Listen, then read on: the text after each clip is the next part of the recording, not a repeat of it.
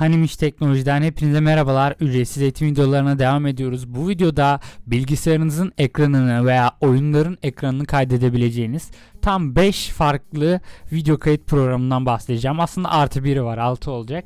Ee, hemen isterseniz birincisiyle başlayalım. Birincisi e, adından da anlayacağınız gibi e, online yani ekstra bir program indirmeden e, kayıt yapabileceğinizi iddia eden bir program ama e, ekstra bir e, program indiriyor ama şimdi göreceksiniz çok e, ekstra indirdiği programla program değil gibi bir şey yani şöyle e, direkt kullanımına geçelim isterseniz. Programın adı Free Online Screen Recorder yani ücretsiz e, çevrim içi yani internet üzerinde ekstra program indirmeden kullanabileceğiniz anlamına geliyor bu. Bir kayıt programı. Bunların hepsinin ben linklerini zaten açıklama kısmına da bırakacağım yani e, birinci sırada bu programın linkine tıklayıp gelebileceksiniz. E, şöyle bir yer değişikliği yaptım e, kusura bakmayın. Şimdi e, direkt siteye girdiğinizde şöyle bir şeyle karşılaşıyorsunuz ve direkt start recording diyorsunuz. E, buna ilk tıkladığınızda küçük bir eklenti indirebilir miyim diye izin alıyor sizden ve bilgisayarınıza küçük bir eklenti indiriyor. E, şimdi göreceksiniz zaten o da açılacak. Ha, aa ben indirmiştim neden tekrar sordu. Neyse download launcher diyorsunuz. Şöyle gördüğünüz gibi çok küçük bir dosya exe hemen çalıştır diyorsunuz. Şöyle ya isminin hakkını veriyor aslında. Ee, online dediği. Galiba bu indirdiği eklenti de bilgisayarı açıp kapatınca siliniyor mu? Ne oluyor? Çünkü ben dün indirmiştim. Kapatıp açınca silinmiş galiba. Basit ya. Şimdi göreceksiniz zaten. Ee, ilk e, launcher aha bak yüklendi. Şu an gördüğünüz gibi online yani hani nasıl oluyor bu sekmeyi nasıl açıyor küçük bir e, plugin gibi iniyor yani buraya ve şu an gördüğünüz gibi e, hazır hale gelmiş bulunuyor ve rec dediğim anda 3'ten geriye sayıyor ve kaydetmeye başlıyor ve kayıt. Şu an işte kaydediyor. Sadece tarayıcı değil masaüstümü de kaydediyor. Şöyle kendimi şanslı hissediyorum. Çünkü hani teknoloji izleyicisiyim. Şöyle şunu kapatıyorum şu an. Yani durduruyorum ve bakalım izleyelim. Hadi gel bakalım niye beni şey yaptın? O kadar övdüm seni. Evet geldi. Şöyle gördüğünüz gibi videoyu çekmiş. Sonra bundan sonra buradan save butonu var gördüğünüz gibi kayıt butonu. Buna tıklayarak ee, video olarak mı gif olarak mı kaydedim diyor. Video olarak tabii ki. Dan diyorum ve kaydetmesini bekliyorum. Biraz orta ekran alayım dedim.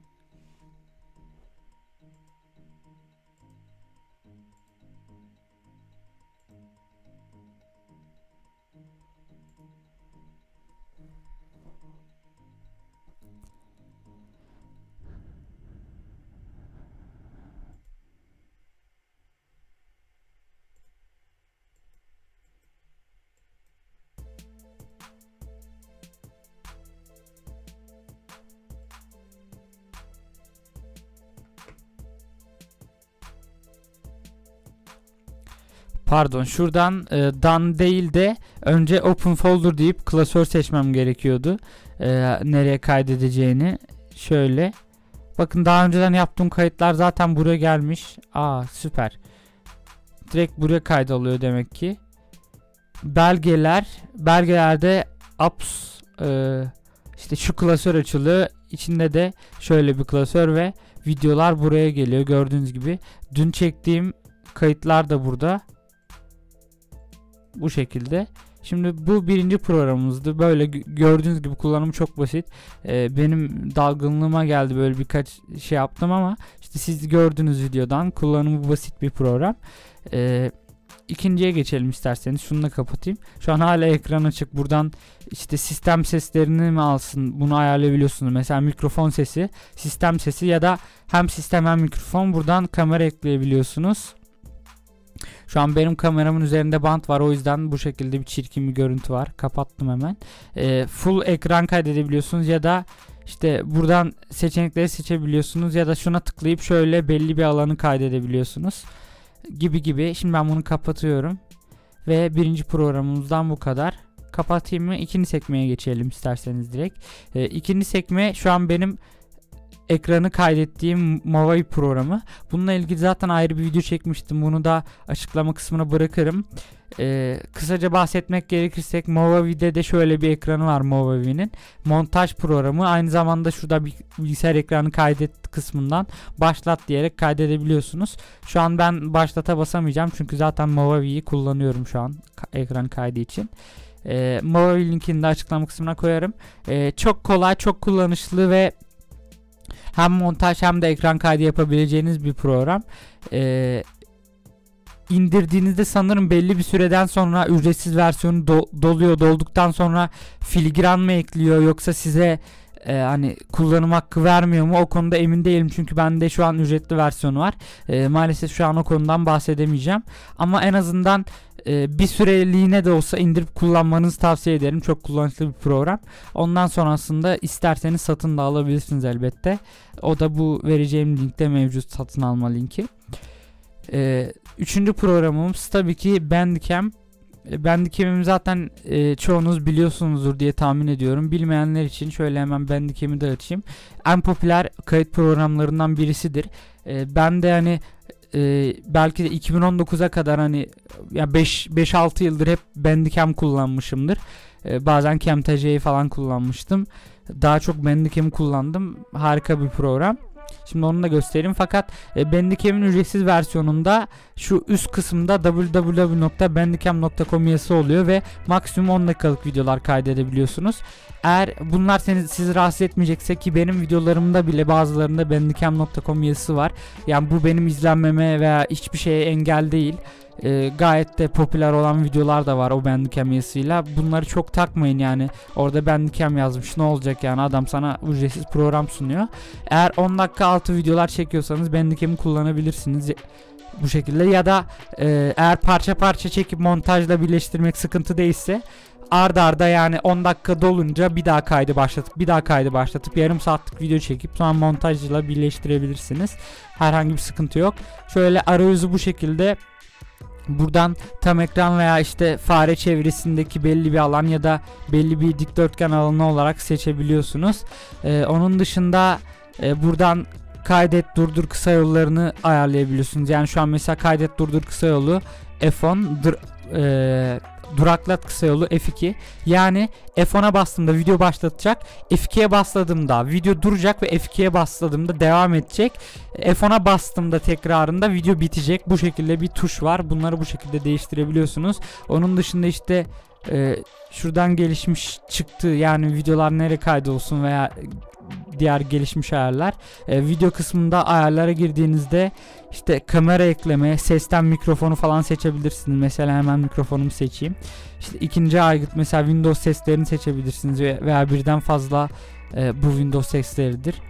E, veya birden fazla mikrofon vesaire ekleyebilirsiniz. Her şeyi buradan e, işte fare fare e, tıklama efektleri, fare rengi vesaire. Onun dışında logo ekleyebilirsiniz. Bunları buradan yapabilirsiniz.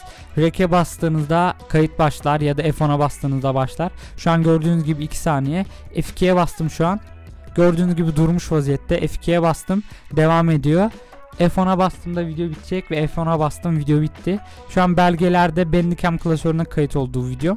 Ee, Bandicam'dan bu kadar. İsterseniz OBS Studio'ya geçelim. E, OBS Studio e, çok daha farklı özellikler ekleyebileceğiniz aynı zamanda canlı yayında açabileceğiniz bir program. Şurada kısa yolu olması lazım. Hemen OBS Studio'muzu açalım. E, Windows, Mac ve e, neydi bu Ubuntu mu Linux mu? E, Linux, Ubuntu gibi platformlarda da e, kullanabiliyorsunuz. Biz Windows için yani ben Windows için olanı indirdim. Bu şekilde linkini size buradan bırakacağım. Gelip böyle Windows ya da Apple'ı seçtikten sonra şurada kurucuyu indir diyeceksiniz.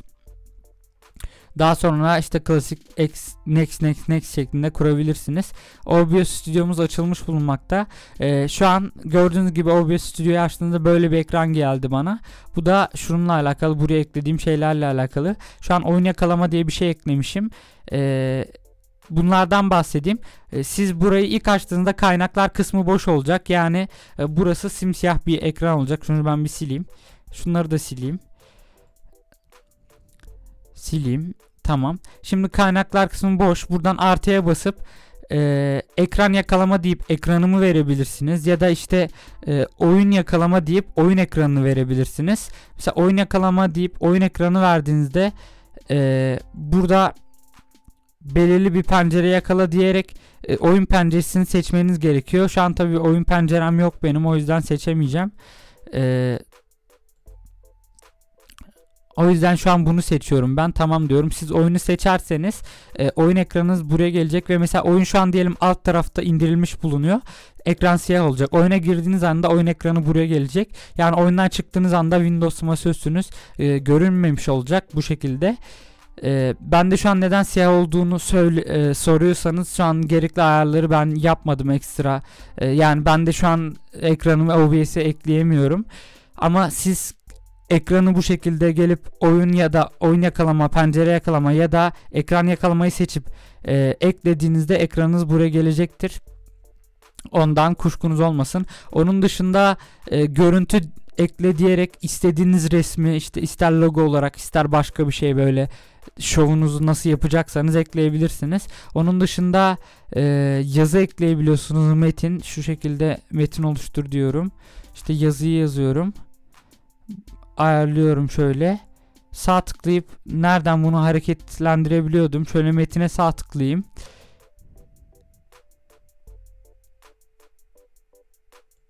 Sanırım şöyle o zaman ben OBS Studio'yu tanıttığım bir video daha var. E, o videonun linkini de açıklama kısmına e, koyayım. Şimdi sizi ne kendimi ne de sizi uğraştırmak istemiyorum. E, buraları o videodaki şekilde özelleştirebilirsiniz. Her türlü şey ekleyebilirsiniz. Diyelim ekranınızı ayarladınız. Yani burası spesifik olduğu için uzatmak istemiyorum. Ekranı ayarladıktan sonra e, şuradan kaydı başlat diyorsunuz. Ve şu an kaydetmeye başladı. Şu an ekranım kaydediyor gördüğünüz gibi. Şu an istediğimi yaptım ve geldim kaydı durdur dedim. Kaydı durdur dediğim anda aynı şekilde belgeler kısmına videolarım gidiyor. Ya videolar ya da belgeler kısmına onu da şu ayarlar kısmından e, çıktı bölümünden daha doğrusu burada çıkış bölümü var. E, çıkış bölümünden ayarlayabiliyorsunuz. Şu an videolar bölümüne ayarlanmış. E, videolar kısmına benim bu kaydettiğim videom gitmiş OBS Studio'dan bu kadar. Diğer bir program OBS'e benzer. E, şöyle ekranı ayarlıyorduk ya ekran ayarlama kısmında daha farklı özellikleri de bulunan Streamlabs programı yani Streamlabs OBS OBS'in gelişmiş versiyonu. Ondan linkini bulabileceksiniz. Özellikle bu OBS ve Streamlabs programları e, oyun yolu videoları çekenler için birebir programlar. Yani oyun videolarını Bandicam'le hiç çekmeyi denemeyin. Çok kasar olmaz sıkıntı çıkar bu da çok basit bir program. Bununla da kaydedebileceğini sanmıyorum. E, Movavi ile sanırım yani ortalama bir performans alırsınız. Ama en iyi performansı OBS ve Streamlabs OBS'te alacaksınız. Nerede benim OBS'im neden açılmadı? Streamlabs. Evet açılıyor. Ee, burada da aynı şekilde bakın kaynaklar diye bir bölüm var. Şöyle şunu siliyorum. Delete'e bastım. Şuradan artı diyorsunuz ve ekran yakala diyorsunuz. Kamerayı ve vesaire de ekleyebiliyorsunuz zaten. Ee, diğerinde gösterdim mi bilmiyorum. Kamera yakala diyerek. Şimdi önce ekran yakala diyorum. Kaynak ekle bitti. Şimdi bunun üzerine mesela bir de kamera ekleyeyim isterseniz.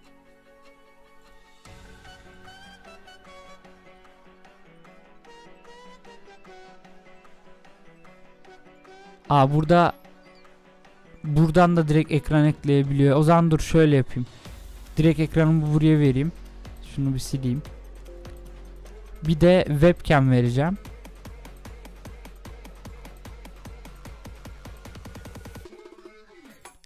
Ha aynı anda ekleyemiyormuşuz. Neyse. Ee, ekranı diğer şekilde ve verdiğinizi düşünelim. Ee, üzerine bir de webcam vermek isterseniz şöyle kamera yakala. Kaynak ekle. Şuradan kamerayı seçtim. Bitti dedim. Ve gördüğünüz gibi kamerayı buraya eklemiş oldum. Arka planında da ekran olacak ve bu şekilde ekran üzerinde kameramız olacak.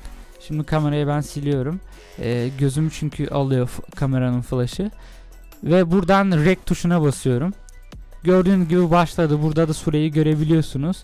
Ee, aynı şekilde çıkış ayarları nereye yapıldıysa dosyaları oraya kaydedecektir. Buradan onu da kurcalayabilirsiniz. Şu an rek'e tekrar basarak bunu bitirdim. Ve 13 saniyelik bir videom oldu. Streamlabs OBS'ten de bu kadar. Gelelim son programa. Ee, bu da Ice Cream diye bir program. Bunun da açıklama kısmında linkini bulacaksınız. Free download diyerek indirebileceksiniz. İndirdikten sonra e, hemen uygulamayı bu şekilde açabilirsiniz. Açalım ve size kullanımını göstereyim ben. Daha önce çektiğim bir videoyu burada direkt gösteriyor zaten burada. Şuna tıklayarak e, dosyanın bulunduğu, videonun bulunduğu yere gidebiliyorsunuz. Onun dışında video çekte aynı şekilde tam ekran özelleştirilmiş bölge gibi seçenekler var veya oyun yakalama aynı hepsinde olan şeyler veya ekran fotoğrafı. Buradan video çek tam ekran diyorum ve şuradan kaydet kaydede basıyorum E, ve başlıyor. Diyelim kaydettim yapmışım arkadaşlar. E, F10 çünkü Movavi'nin kısa yoluydu. E, F8 ise Screen Recorder'ın. Şimdi ben de dedim ki madem Movavi'yi durdurdum. Movavi ile kayıt alıyordum. E, videonun kalan kısmında Screen Recorder ile devam edeyim. Şimdi Screen Recorder'la işte de bu şekilde çekebiliyorsunuz. E, açıklama kısmında Screen Recorder'ın da videosunu bul, e, linkini bulabileceksiniz. Screen Recorder'da da maksimum 5 dakika ücretsiz versiyonuyla çekim yapabiliyorsunuz. Bunu da e, söyleyeyim. E, bu videodan bu kadardı. Kanalımızda video içerik üreticileri için türlü türlü ücretsiz eğitim videoları yayınlıyoruz. Abone olarak takip edebilirsiniz. Hoşçakalın.